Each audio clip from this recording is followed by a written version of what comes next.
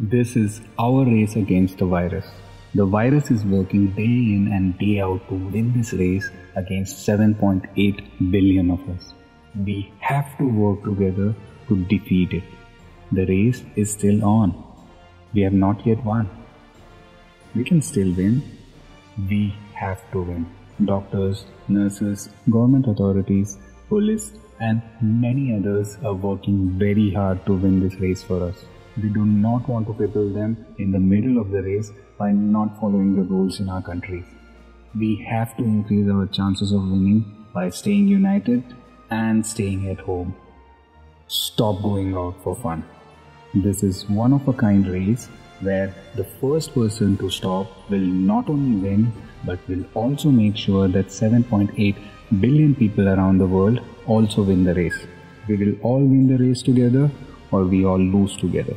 Remember, don't be scared, don't panic, be safe, this too shall pass.